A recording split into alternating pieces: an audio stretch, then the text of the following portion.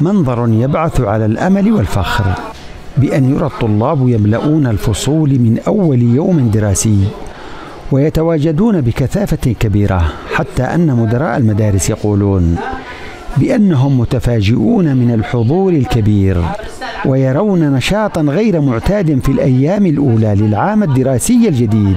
ما كنت أتصور أنه بيجي العدد هذا كامل للطالبات. أمس كان العدد 95% اليوم العدد يكاد 100% والطالبات طبعا حضرنا وهن كلهن جد ونشاط وحيوية وعندهن شغف بالتعليم. كانت نسبة حضور الطلاب والمدرسين ما يقارب ما بين الخمسة والثمانين في المئة والسبعين في المئة وهذه النسبة تعتبر جيدة حيث قد تمت زيارة من الصباح الباكر يومنا هذا عدد من المدارس وكان الحضور جيد ورائع والتزام المدرسين والطلاب بالحضور لسير العملية التعليمية بشكل جيد وصدر رحب.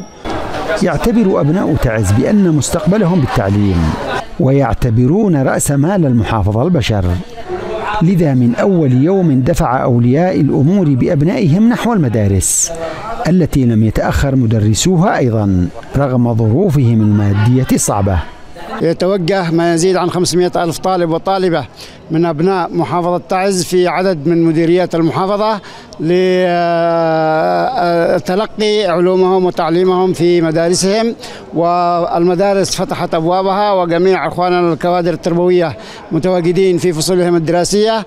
نقدم لهم كل الشكر والتقدير على ما يبذلون من جهود رغم الظروف التي يعيشونها ونحن نعلمها تماما. وقيادة السلطة المحلية ومكتب التربية في حالة انعقاد مستمر في الأسبوعين الماضية ثلاثة اجتماعات متتالية لمتابعة الحقوق وتم تكليف أحد أبرز قيادة المحافظة بالنزول إلى عدن لاستكمال إجراءات صرف حقوق المعلمين وخاصة التي تم إصدار فتوى الخدمة المدنية بها وتعزيز وزارة المالية. ندشن هذا العام الحافل بالنشاط والحيوية والجد والاجتهاد ندشن العام الدراسي من عاصمة الثقافة والعلم من المظفر والأشرفية. ومعاذ ابن جبل من هذه المحافظة التي تعتبر العملية التعليمية وتعتبر العلم هو الركيزة الأساسية لعملية البناء والتنمية. آه نحن اليوم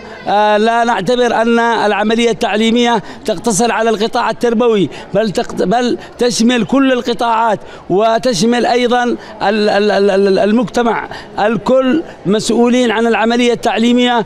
عام دراسي جديد تبدأ معه رحلة جديدة لمئات آلاف الطلاب وكلهم أمل بأن يكون مستقبلهم أجمل وأن البلد ستستقر وتزدهر ومعها أحلامهم وطموحاتهم التي أتوا إلى المدارس لتحقيقها.